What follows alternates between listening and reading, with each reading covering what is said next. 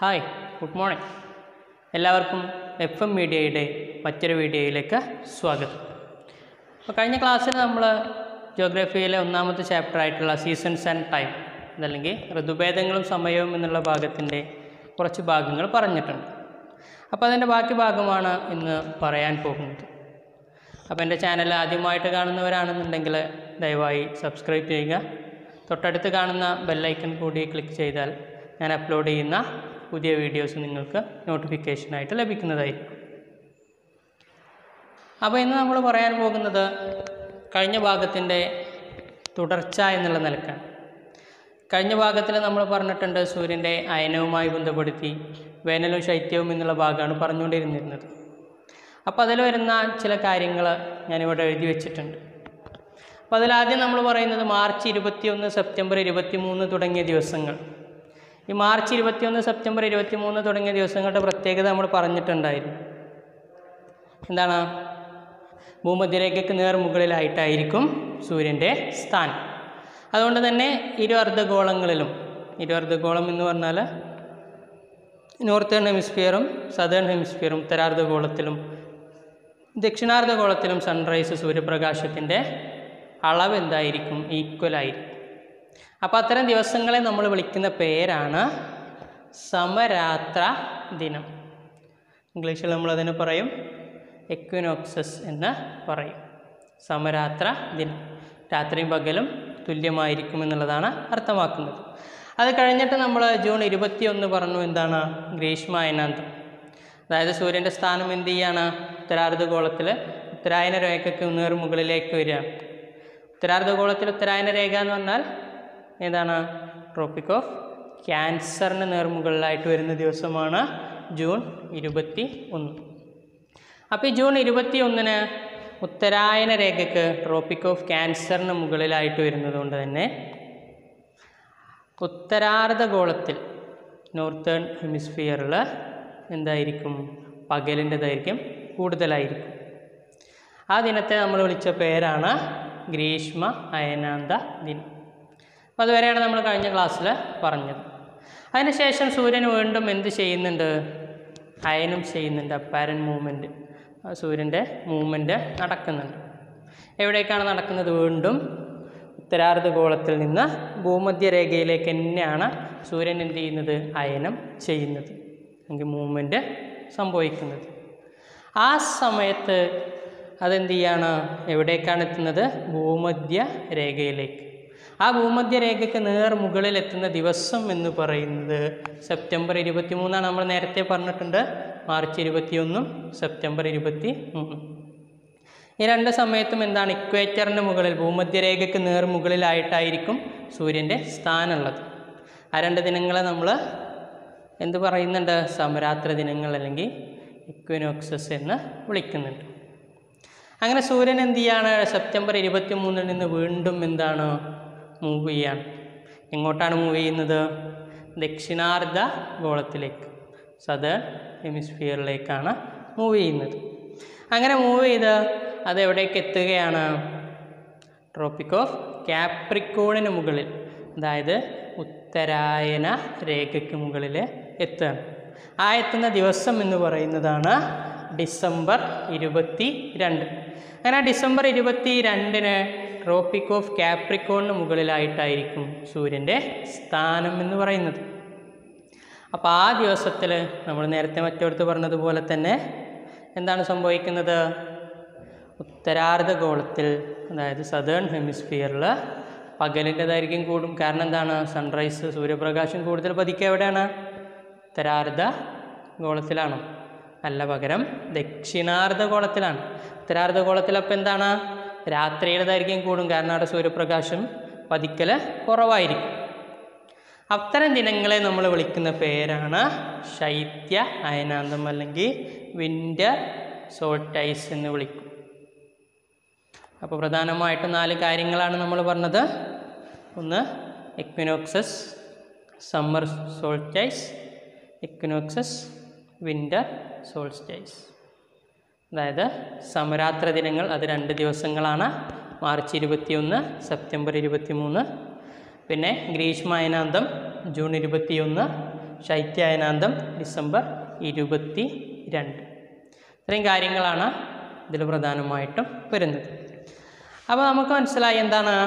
March ഇരുപത്തി ഒന്ന് മുതൽ ജൂൺ ഇരുപത്തി ഒന്ന് വരെ എന്ത് ചെയ്യാണ് സൂര്യൻ? അയനം ചെയ്ത് എവിടേക്ക് എത്തി ഉത്തരാർദ്ധഗോളത്തിൽ ഉത്തരായന രേഖയ്ക്ക് മുകളിൽ അതായത് നോർത്തേൺ ഹെമിസ്ഫിയറിലെ ട്രോപ്പിക് ഓഫ് ക്യാൻസറിന് മുകളിലെത്തി പിന്നെ അവിടുന്ന് ജൂൺ ഇരുപത്തിയൊന്നിൽ നിന്ന് വീണ്ടും എന്ത് ചെയ്യാണ്? സൂര്യൻ അപ്പാരൻ മൂവ്മെന്റ് സംഭവിക്കുകയാണ് എന്താണ്? സെപ്റ്റംബർ ഇരുപത്തി മൂന്നിലേക്ക് ആ ഇരുപത്തി മൂന്നാകുമ്പോൾ എന്താ സംഭവിക്കുന്നത്? എന്താ സംഭവിക്കുന്നത്? ഭൂമധ്യരേഖയ്ക്ക് അല്ലെങ്കിൽ എവിടേക്ക് എത്തുന്നുണ്ട്? ഭൂമധ്യരേഖയ്ക്ക് നേർമുകളിലായിട്ട് സൂര്യൻ എത്തുന്നുണ്ട്. അപ്പോൾ ഇവിടെ നമ്മൾ പറഞ്ഞത് എന്താണ് സമരാത്ര ദിനങ്ങൾ അല്ലെങ്കിൽ വിഷുവങ്ങൾ ശൈത്യായനാന്തം ഗ്രീഷ്മായനാന്തം. അപ്പോൾ ആറ് മാസക്കാലം സൂര്യന്റെ സ്ഥാനം എന്ന് പറയുന്നത് നോർത്തേൺ ഹെമിസ്ഫിയറിലും ആറ് മാസം സൂര്യന്റെ സ്ഥാനം എന്ന് പറയുന്നത് സദേൺ ഹെമിസ്ഫിയറിലും അഥവാ ആറുമാസം ഉത്തരാർദ്ധഗോളത്തിലും ആറുമാസം ദക്ഷിണാർദ്ധഗോളത്തിലുമാണ് സൂര്യന്റെ സ്ഥാനം എന്ന് പറയുന്നത്. അതുകൊണ്ട് തന്നെ ആറുമാസം ഉത്തരാർദ്ധഗോളത്തിൽ എന്തായിരിക്കും? വേനലായിരിക്കും. അപ്പോൾ ദക്ഷിണാർദ്ധഗോളത്തിൽ ശൈത്യമായിരിക്കും. അതുപോലെ ആറുമാസം ദക്ഷിണാർദ്ധഗോളത്തിൽ അഥവാ സദേൺ ഹെമിസ്ഫിയറിൽ സൂര്യൻ ഉണ്ടാകുന്ന സമയത്ത് സദേൺ ഹെമിസ്ഫിയറിൽ വേനൽക്കാലവും നോർത്തേൺ ഹെമിസ്ഫിയറിൽ ഉത്തരാർദ്ധഗോളത്തിൽ എന്തായിരിക്കും? വേനൽക്കാലവും ആയിരിക്കും. അങ്ങനെയാണ് വേനലും ശൈത്യവും എന്ന് പറയുന്നത്. അപ്പോൾ നമ്മൾ വേനലും ശൈത്യമാണ് ഇപ്പോൾ പറഞ്ഞത്. ഏതൊക്കെയാണ് കാലങ്ങൾ നമ്മൾ പറഞ്ഞു. ഏതൊക്കെ സമയങ്ങളിലാണെന്ന് പറഞ്ഞു. എത്ര കാലമാണെന്ന് പറഞ്ഞു. ഇനി പറയാനുള്ളത് അടുത്ത രണ്ട് കാലങ്ങളായിട്ടുള്ള വസന്തവും ഹേമന്തവും അപ്പോൾ സ്പ്രിങ് ആൻഡ് ഓട്ടം. വസന്തവും ഹേമന്തവും. ഈ വസന്തവും ഹേമന്തവും എന്താണ്? ട്രാൻസിഷൻ പീരീഡുകളാണ്. എന്ന് പറഞ്ഞാൽ വേനലിൽ നിന്ന് ശൈത്യത്തിലേക്കോ ശൈത്യത്തിൽ നിന്ന് വേനലിലേക്കോ ഉള്ള ആ ഒരു മാറ്റത്തിന്റെ ആ ചേഞ്ചിന്റെ ആ ഒരു പീരീഡാണ് ഏത് പറയുന്നത്? വസന്തവും ഹേമന്തവും അതല്ലെങ്കിൽ സ്പ്രിങ് ആൻഡ് ഓട്ടം എന്ന് പറയുന്നത്. അപ്പോൾ ഏതൊക്കെ കാലഘട്ടത്തിലാണ് എങ്ങനെയാണെന്ന് നമുക്ക് നോക്കാം. അപ്പോൾ ആദ്യം നമ്മൾ പറയുന്നത് സ്പ്രിങ്ങാണ് സ്പ്രിങ് എന്ന് പറഞ്ഞാൽ വസന്തം. വസന്തം നമ്മൾ പറഞ്ഞു വിന്ററിൽ നിന്ന് സമ്മറിലേക്കാണ് ശൈത്യത്തിൽ നിന്ന് ഉഷ്ണത്തിലേക്കുള്ള മാറ്റത്തിന്റെ കാലഘട്ടമാണ്. ട്രാൻസിഷൻ പീരീഡാണ് ഏത് സ്പ്രിങ് എന്ന് പറയുന്നത് അതല്ലെങ്കിൽ വസന്തം എന്ന് പറയുന്നത്. വസന്തം നമുക്കറിയാം പൂക്കളൊക്കെ തളിർക്കുക പുതിയ പുതിയ ഇലകളൊക്കെ വരിക അതുപോലെ ചക്ക മാങ്ങ പോലുള്ള ഫലങ്ങളൊക്കെ ഉണ്ടാകുന്ന ആ ഒരു ടൈമാണ് ഏത് പറയുന്നത്. വസന്തം എന്ന് പറയുന്നത്. ഉത്തരാർദ്ധഗോളത്തിൽ മാർച്ച് ഏപ്രിൽ മാസങ്ങളിലാണ് ഏതുണ്ടാകുന്നത്? സ്പ്രിംഗ് ഉണ്ടാകുന്നത്. അതായത് നോർത്തേൺ ഹെമിസ്ഫിയറിൽ മാർച്ച് ഏപ്രിൽ മാസങ്ങളിലായിട്ടാണ് സ്പ്രിംഗ് അഥവാ വസന്തം ഉണ്ടാകുന്നത്. ഏതിൽ നിന്ന് ഏതിലേക്കുള്ള മാറ്റാണ്? ശൈത്യത്തിൽ നിന്ന് ഉഷ്ണത്തിലേക്കുള്ള മാറ്റത്തിന്റെ കാലഘട്ടം അല്ലെങ്കിൽ ട്രാൻസിഷൻ പീരീഡാണ് ശൈത്യത്തിൽ നിന്ന് ഉഷ്ണത്തിലേക്കുള്ള മാറ്റത്തിന്റെ കാലഘട്ടം. ട്രാൻസിഷൻ പീരീഡാണ് ഏത് പറയുന്നത്? സമ്മർ എന്ന്. സോറി മാറ്റത്തിന്റെ പീരീഡാണ് ഏത് പറയുന്നത്? സ്പ്രിംഗ് എന്ന് പറയുന്നത്. അപ്പോൾ നോർത്തേൺ ഹെമിസ്ഫിയറിൽ മാർച്ച് ഏപ്രിൽ മാസത്തിലാണ് ഏതുണ്ടാകുന്നത്? സ്പ്രിംഗ് അഥവാ വസന്തം ഉണ്ടാകുന്നത്. അപ്പോൾ സദേൺ ഹെമിസ്ഫിയറിൽ അതേ സമയത്ത് ഏതായിരിക്കും? ഓട്ടം ആയിരിക്കും.